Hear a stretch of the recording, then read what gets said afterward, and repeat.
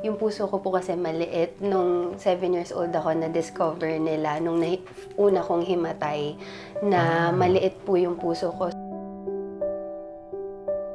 Nalalock in kami, na-aircon ako, naiiyak ako sa gabi, kuya. Kasi syempre naka-aircon ako, tapos sila hindi. Parang naano naman ako mga anak ko, hindi ko kasama. Nagbibigay ba siya?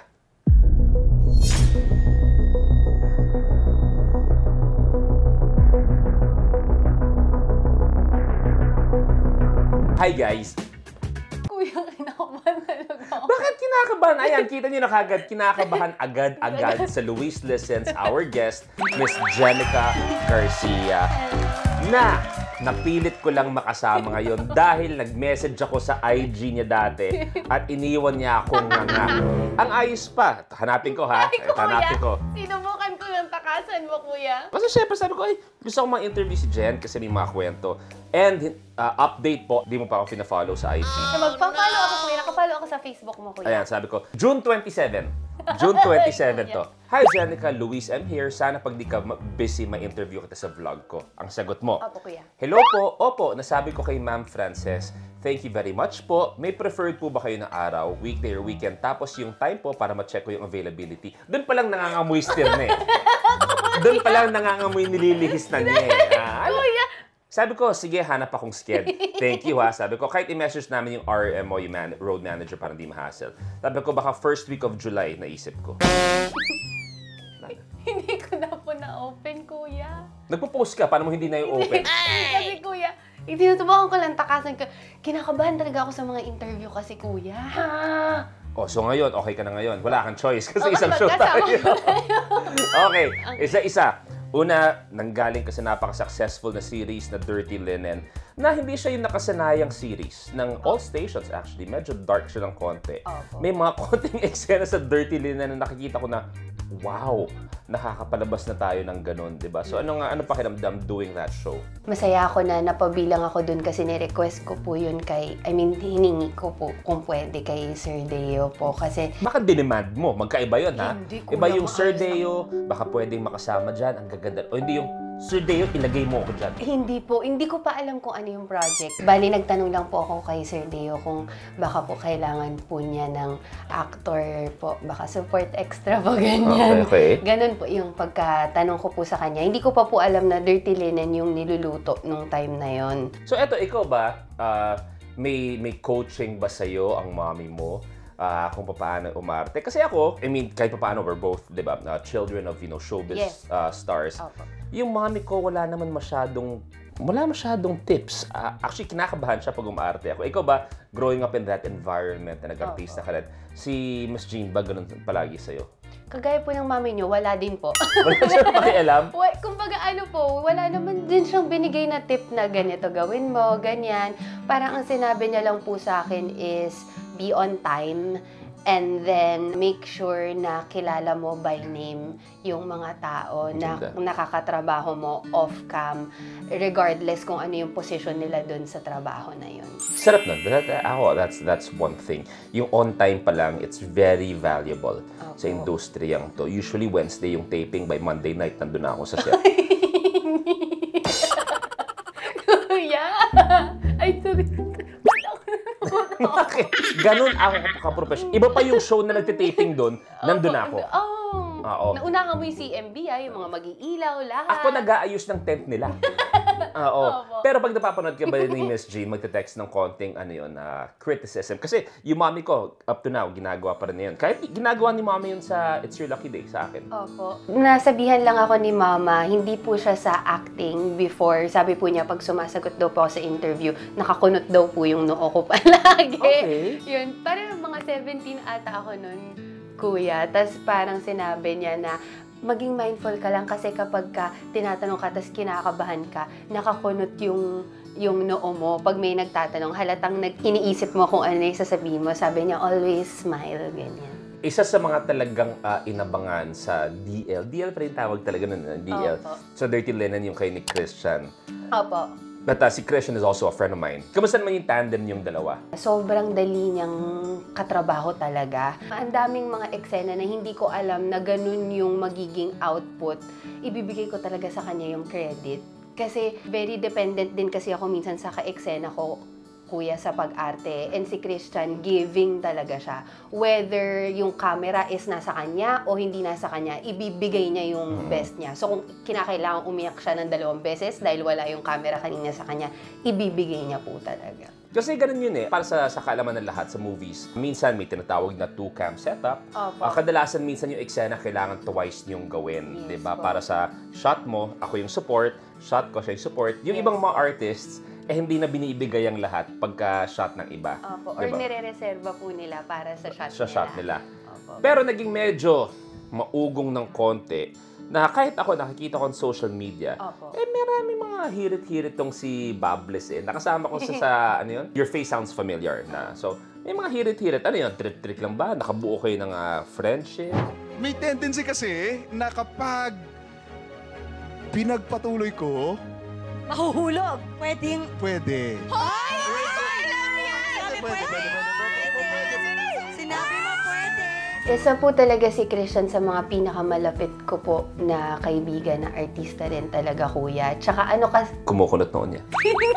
Kumukunot Kuya! niya. Kumukunot yung noon niya. Kumukunot yun. Kumukunot, kumukunot. Halos nagdikit nga yung mata mo ngayon lang eh. Hindi, kuya. Yung maano kasi siya, ma-joke-joke siya, kuya. Mama, biro kasi lang yan siya. Pero ito nakikita natin si Jenica ngayon. Eh, kumbaga nag, ah, nagiging actress ka na talaga. Kasi di ba syempre when you're younger, iba yung mga roles na binibigay sa'yo. It's like patwita, mas pakilig. Opo. Pero ano pa ba ang gusto mong gawin as, a, as an actress? Kuya, gusto ko talagang mag-star ng isang Korean adaptation. Siguro dahil mahilig ako sa K-drama. So you're a big fan. Ano yung pinaka-favorite mo na Korean adaptation? Legend of the Blue Sea siguro. Madami, pero yun yung first name. Paano may Ito, ano, paano, maganda rin sa Koreans yung Ongbak. Ano yun? Korean ba yun? Ano yun, kuya? Korean ba yun? Yung Ongbak. Narinig ko lang kanina yun. Hindi yata ako yung Korean. Hindi ko na alam. Okay, dream na makatrabaho. Medyo imposible ata ngayon kasi magkaiba kami ng network. Pero syempre, si Mama. Never pa, never. Yung napagtrabuhan kasi namin before, kuya, together, sobrang tagal na. I think I was 18 years old at that time. Tapos hindi ako ganun ka-passionate about being an actor. Yung pag-aartista kasi, kuya, ginawa ko lang nung nalaman ko yung sweldo. Totoo, totoo. Pagka-graduate ko po kasi ng high school, gusto ko sana mag-nursing. Ta- pero Wow. ayaw ni mama. Pa- Karang sabi ni mama, anak kasi mababa ang sweldo ng nurse. Unfortunately. Unfortunate, ano yan? oh. Unfortunately, no? Tas sabi- Kailangan mong lumipad pa para yes. mag ano, At ayaw ni mama yung idea na lilipad Oo. ako. Kaya nung nalaman din ni mama, kasi kung walang dirty linen, kuya, magka-caregiver dapat po ako sa LA. Naayos ko na yung papers Oh, wow. ko. Okay. Opo. May relatives kasi kami doon. So, doon dapat ako magtatrabaho. Sobrang lungkot ni mama. Ano, balitaan ko yun. Parang naalala ko yun. Nababasa ko yun before na may Opo. plans. ka. Ayaw niya po talaga yung idea na mag-iibang bansa ako. Nung time na yun, sabi ko, paano yan? Hindi ko alam kung anong course na gusto ko. Doon niya po sinabi sa akin na, oh, may offer ka ng ganito, mag-artista ka. Tapos tinatawanan ko lang, kuya, kasi hindi ko talaga ma-imagine Oo. na mag, pwede ako mag-artista. Pero nung sinabi ni mama yung sweldo, ah, pwede ko itry. Oo, tagal ko nang inaantay yan. Oo, may dala na nga akong OR eh. Oo, yun, kuya. Tapos, sinubukan ko lang po. Pero yung passion, feeling ko po talaga na-ignite ko siya neto na nung nahiwalay ako sa sa asawa ko, nahanapan ko ng deeper meaning yung pag-aartista. Andun yung na-appreciate ko na sobra yung boses ko. Kasi syempre silang nagbi- Yes, yes. nagbibigay ng pagkain sa mesa namin eh. Hinahatid nila talaga ng mga boss? Oh, yeah. Kasi sa akin, yung pambayad. Okay na, Oo. okay na. Kabahan na naman ako. Hindi, kasi ang swerte mo kung sila mismo nagdadala sa bahay mo. Hindi, kuya. Ibig ko sabihin, nagpo-provide ng sweldo ba? Pangbili ng Akala ko food sila and everything, sa'yo. May ganyan. time sila, ha? Doon mo nahanap yung, ah, yung gusto mo na talaga, beyond the money. Yes. Opo. Parang kailangan ko talagang paghusayan na. Iba rin, kuya, yung drive talaga pag may anak ka. Kasi may dumating, dumating man, kunyari po, na endorsement. Siyempre, it's a bigger Of amount course. of money, di ba po? Hindi mo mafe-feel na, hala, ang yaman ko na. Kung before siguro to feeling ko, hala, ang yaman ko na. Oo. Pero dahil may future akong sinisecure, gusto ko mapagtapos yung mga anak ko until college, gusto ko sila mabigyan ng tig-isang bahay. Yung mga ganun ba, kuya? May Parang- allotment na kagad yun. Meron na agad siyang pupuntahan. So, iba talaga yung drive. Tsaka dati, kuya, kapag kunyari, sasabihin may audition, ganyan, hindi ko talaga ginagawa. Kasi sa akin, hindi naman ako naghahangad ng malaking role. Gusto ko lang, pag may kailangan silang artistang magaling, maisip nila na pwede ako. I'm all for sustainability. Of parang. course. Eh, tama din naman talaga. And uh, kumbaga sinabi nga rin ng mommy ko before, isa sa mga sinabi niya na, anak, madaling sumikat sa industriya. Dati pa niya sinabi to. This was before before social media. Opo. Sabi niya, ang daling sumikat. Pero ang sikreto talaga ng showbiz is kung magtatagal ka. Opo. 'Di ba? Yung ang madaling maging uh, flash in the pan. Pero yung sabihin mong ma- may iwan mo yung pangalan mo at sabi mo nga, yung maaalala ka nila pag may hinahanap sila. That's the the goal, 'di ba, in the industry. Tapos eto tanong ko sa iyo is, alam mo nag-trending before, naalala ko, uh, talking about your family, is parang may binanggit ka na ngayon magkaka-aircon na kami. Basta parang ganun. ano yun? Ano yun? Ano yun? Hindi, kasi kuya, yung aircon ko kasi, second hand lang bigay ni Papa. Parang kasi nga po, naka-electric fan kami. Si Papa, binigay na lang po niya sa amin yung extra nila na aircon dun sa extra nila na room. Ngayon po, yung parang horsepower po ba yun? Parang kulang po siya dun sa, Laki sa ng kwarto. size nung studio unit namin. So, ang nangyari po nung nasira, nakailang paayos na po ako. Parang every two weeks, bumibigay talaga siya. At saka mas mainit pa yung buga. yung mas okay pa kayo na hindi naka-on yung aircon. Totoo, kuya. Oo. So, hindi na lang po namin ginamit. Tapos, pinansin ko po kung sa mga anak ko kung okay lang naman sila. Nakakatulog naman po. Tapos, nung dumating po yung bill namin sa kuryente, less than 1,000, the best! Oo. Kaya sabi ko, ituloy-tuloy na natin Oo. to. Gusto pa isang ventilador? Pwede pa! Actually, yun ang binili ko, kuya. Oo. Duha na ang ventilador namin. Tapos, okay naman sila. Kaya lang po, nung nag-dirty linen na, tapos nalalock in kami, na-aircon ako, naiiyak ako sa gabi, kuya. Kasi, syempre, naka-aircon ako, tapos sila hindi.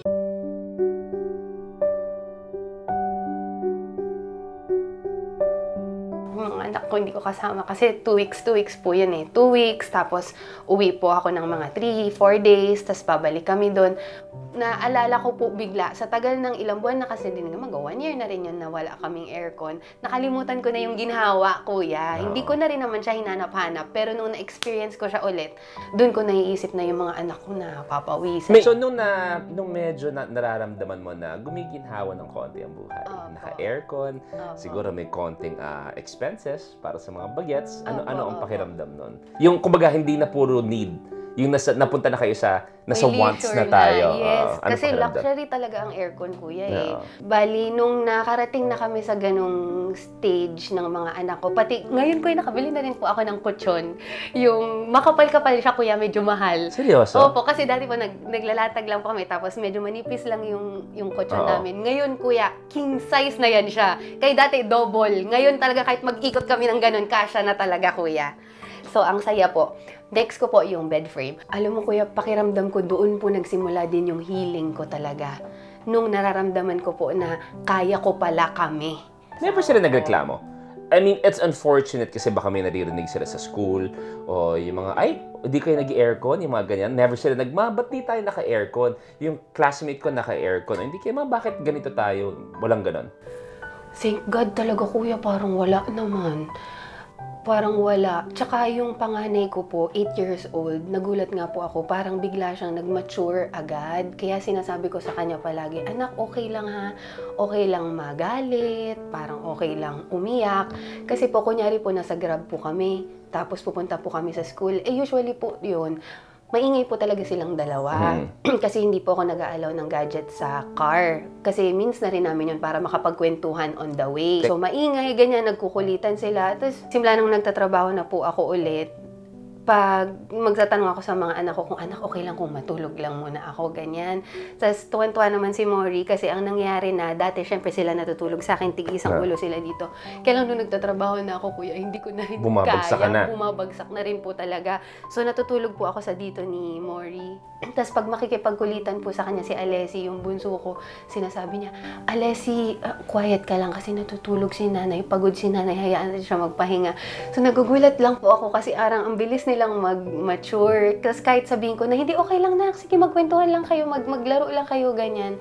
Hindi, hindi na, matulog ka lang. So, Alam mo, I've, I've never met them. Um, I see them, di ba? Pinakita, pinakita sa akin post mo. And I can already tell na you're such a wonderful mother. I thank you. Para sa akin, it's, a, it's very refreshing seeing someone like you at kung papaano kasimple ang buhay mo at kung gaano ka gusto mo na simple lang din ang buhay ng mga anak mo pero hindi nawawala ang pagmamahal. At yung simple kwento na yun, yun sa kotse kayo, Opo. ramdam ko how proud you are as a mother. Sobrang grateful ko po kasi talaga kay Lord. Kasi ano po talaga, hindi ko rin alam kung bakit sila ganun po. Kabait. Yung kabait. Kaya po yung panganay ko din kuya, kunyari po magto-toy store, di ba? Tapos papapiliin ko po silang dalawa, tig-isa sila kung anong gusto nila. Pick one lang, ganyan. Pag wala po siyang nagustuhan, kaya niya po yung uuwi ng Walang dala. walang dala. Kain lang, kain lang, kain, Opo, kain lang. kain lang, cotton candy, ice cream, okay na yan sila. Kaya pag may ni-request talaga yung panganay ko, ginagawan ko ng paraan na mabigay po talaga agad. Kasi nga, hindi po siya yung pabili nito, pabili niyan. Ganda. And I think, base sa nakikita ko, your, your child is gonna be a blessing din to so many people. I think, And I think, uh, bilang magulang na rin ako, di ba? Yun yung goal mo eh. Na your child becomes a blessing to other people. Di ba? Okay. So, okay, itabi muna natin yon yung pagiging isang mommy. Paano ka nagsimula sa hosting? Sa Pai po, si Melay, parang nagtatry po sila ng iba-ibang special assistant na Ah. magiging co-host niya. Janica Garcia! Hello! Hello, Janica! Magandang gabi po! I think after three or four days mula nung sumalang po ako, sinabi po nila sa akin na mag-regular na daw po ako. So, ano pakiramdam? Kasi unang sabak mo ba yan? Yung talagang host ka na ha? Kasi I'm sure Opo. before kahit sa, sa kabila, you would, di ba, hold the mic. You know, magsispiel ka here and there, di ba? For variety shows. Hindi hindi kuya, hindi. Kasi Wala talaga? sobrang Kahit yung mga kuya. SOP dati, yung All-Star, mga ganyan. Ka parang, All out, mga ganyan. Nung nasubukan ko po kasi na magsayaw, kumanta, grabe talaga yung anxiety ko, kuya. Hindi ko kinakaya. Kasi sumasabay po kasi, yung puso ko po kasi maliit. Nung 7 years old ako, na-discover nila, nung una kong himatay, na maliit po yung puso ko. So, na- pag sobrang saya or sobrang lungkot, nahirapan po mag-pump up. ng blood pa akyat dito. So, yung Wow. oxygen, nahirapan po akong huminga. Kasi Okay. nahirapan siya mag-submit dun sa brain. So, Okay. mula po noon, napansin ko na pag yung hiya plus kaba pinagsama, baka ma himatay, Meron, himatay. meron May talaga. tendency po talaga. So, sabi, hindi po talaga ako nag-go. Kapag gano'n, nagpapas na lang po ako. Okay. Nagkataon lang ngayon, syempre iba na tayo. Yun nga po, sabi ko, may mga anak na tayo. So, kahit nahiya po ako, kahit Laban. kinakabahan ako, laban na lang. So ano pa rin? Kasi one thing about hosting is, unlike umaarte, marami kayong kinukunan. Opo. Ah, eto pag hosting, sa'yo. Sobra Pa po. nagsasalita ka, sa'yo. Kung ano Opo. sasabihin mo, kung ano bulol mo, sa'yo. So ano pakiramdam doing it? Malaking tulong po talaga sa akin sa You're the Boss si Melay. Sa totoo lang kuya, kung hindi po siya yung kasama ko doon, hindi ko po siguro matatagalan yung regular hosting. Kasi po palagi niya akong sinasalo, pag kinakabahan po ako, ganyan. Tapos may time din po, sino bang guest namin nun sila, Chad Kines po ata yun. Sobrang tawa kuya, hinika ako.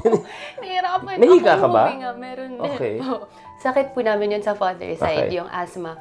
So, yun, nahirapan na po ako huminga. Tapos sinalo na po ako ni Mele. Pero sobrang tawa naman po yun. So, ang saya. Then, itong sa It's Your Lucky Day natin, Kuya, gusto ko rin po talaga super mag-thank you po sa inyo. Kasi napansin ko po na parang na-overcome ko po yung anxiety ko sa alaga niyo po sa amin. Of course, you know, ah, tagal-tagal ko nang ginagawa to. And ah, I think it's my duty. At uh, nasabi ko to sa interview dati na kumbaga kami mga may edad na. Eh, I mean, uh, what, di, totoo naman, ah, di ba, pa- pa- papunta na yung point na, ano, hindi na ganun kakinang ang mga, lahat ng artista darating din dyan. Pag hindi mo matanggap yun, kung artista ka na hindi mo matanggap na malalaos ka, masisiraan ka. Kami na nakarami na ang taon, I think it's our duty na kung ano man natutunan namin, we share it with the next batch of hosts. Kung ano man yun, if it means guiding you. Ako, for example, ako, tapos lahat ng alam ko, kahit pa paano, nahirobi na, siya rin may duty siya, the same way ikaw, as a host now, pag may nakita ka na nakakasama mo, pag uh, after how many years, ipapasa mo rin, di ba, yung uh, natutunan mo. Nung sinabi sa'yo, na, Uy, Jenica, ah, may mga nangyari sa It's Showtime, so ah, kayo ang ah, papalit panandalian. Tinanong ko po agad kung sino pong kasama. Huwag ka magalit, kuya. Maliban sa'yo, kay natatakot pa ako nun, kuya Luis, sa'yo. Ano ba ang image ko? ano ba? ano, Stricto ba ako? Hindi, hindi naman kuya. Parang nasa starstruck lang kasi ako kuya. So parang, ko, wala akong mga ambag doon. Kay Kuya Louie, mga puro tawa lang ang gawin ko doon. Kaya nung sinabi po nakasama si Melay, sabi ko, ah, thank you Lord, thank you Lord, gagawin natin yan. May kabatuhan ka na, natin." oo. Opo, parang ganun po yung pakiramdam. So, Siyempre, go po tayo. At saka, kuya, kahit naman po kinakabahan na ako o ano, wala naman po akong trabahong hinindihan. Basta hindi mahalay, gagawin ko talaga. So, pagkatapos ng pilot natin, yung una, yung opening pa lang ha, hindi, yung opening pa lang. Opo. Di ba, anong pakiramdam nung nandun ka na, alam mong live yun. Kasi ang pilot tape namin ginagawa yan eh. Yung alam mong noon time, tapos yung mga tao nakikisayaw na sa'yo. Opo. Nung pumunta ka sa audience, nagkakagulo sila Opo. sa'yo. Anong pakiramdam mo nun? Gusto ko na pong umuwi. Bakit? Bakit? Kasi kinakabahan talaga ako, kuya eh. Kahit naman hanggang ngayon po. Kasi po, pag... Okay lang, kuya, pag kunyari marami tayo, di ba? Yung kulitan sa yung opening. kulitan, yan, Ah. masaya yan. Ah. Pero pag alam ko pong sa akin na nakabuton or sa akin po nakasalalay yung sasabihin, grabe talaga yung tension. Pero ang napansin ko po, pag time na po para umuwi, na yung energy ng audience natin, yung happiness nila, nadadala ko rin Bit-bit po sa bahay. Diba? Ang nakakatuwa din. Ako, I, I, I, ikaw, you are a very refreshing sight on TV. Para sa akin, ikaw yung tumatapak sa telebisyon na, kabaga, ako na, na, natutuwa. Hindi ako basta-basta natatawa. Tawa ako, pero di ako natuwa. Oo. Magkaiba yun, ha? Di, di kayo ako sabihin natatawa, baka kasi natutuwa at natatawa ako sa'yo because of how refreshing you are on TV. Bihira na yung ganyang persona, bihira yung ganyang kabaitan. Pag-usapan natin ang nag-super duper trending na blocking issue. Napaluhod ka pa sa gitna ng stage. Oo Oo. nga, kuya. Ingat na ingat pa naman ako, huwag magkamali. Yung sa isip ko talaga, Jenica, itawid mo lang ito. Tumawa ka lang, itawa mo lahat ng kaba mo. Ay, sus! Pumunta pa ako sa gitna. Kuya, pasensya na. Ang intindi ko kasi talaga, sa totoo naman, ang sabi mo lang din naman po talaga, o mauna ka na. Kasi ako po yung mauunang magsasalita. Akala ko po, didikitan natin si at nanay. Nung nag-trending, ano ano ano ang pakiramdam? Ano, gusto ko na lang po kainin ako ng lupa. Pero part yan eh. Part yan ng live shows din talaga. And I think it adds to us. I think yung mga ganun, yung mga ganung ah, bubus, inaabangan yan. 'Di ba? Totoo. Ah, grabe yan pag-usapan at lahat-lahat. And ako, I thank you for everything you're you're adding on to It's Your Lucky Day. Gusto ko nga sabihin palagi na kadikit ng pangalan ko ang title ng show natin. Pero it's show natin talaga yon. Lahat tayo may maangking ambag. And I, and I wish the best for you you know, uh, first time natin nagkasama, I'm sure at one point, nag-cruise na yung mga landas natin. Hi, hello, hello, hello. And I'm glad I met you. Thank you. I'm glad I met you. I, uh, I'm glad that I get to work with you. And uh, sana kung magtuloy-tuloy ito, di ba? I hope that I get to work with you. And I hope a lot of moms learn from you. Yun ang pinaka makukuha ko. So thank you, thank you for uh, being here on, uh, on the week. I'm so proud of you. Napakalayo pa ng mararating mo. Kaya maglakad ka na, simulan mo. Hindi, hindi. I just, I just wish you the best. Uh, bihira ka makakita ng ganito ka-refreshing na tao sa industriya. Thank you for being Salamat here din po, on the. Luis Listens. Pero bago tayo matapos, meron akong mga quote of the day. Words of wisdom. Wow, parang serious yan, kuya. Nasabi ko na to, pero kasi may mga nagtatanong sa akin kung paano magsimula ng isang negosyo. Ano yung pinakatamang negosyo na simulan? Opo. Ang pinaka magandang advice na bibigay ko sa lahat po ng gustong sumubok ng negosyo ay magbenta po kayo ng tubo. Bakit? Para kahit lugi kayo, may tubo pa rin kayo.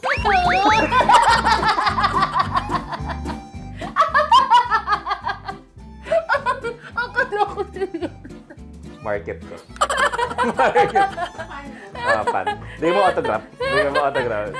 Thank you for watching, guys. Sana nag-enjoy kayo. And Once again, thank, Thank you Thank you. po. I'm, I'm, sincerely glad I met this person. So maraming salamat sa panonood ng Lucky TV. Uh, Luis Listens, kung naman ginagawa sa vlog, like, share, mga ganyan-ganyan. Ah. Bye, guys! Nagbibigay ba siya?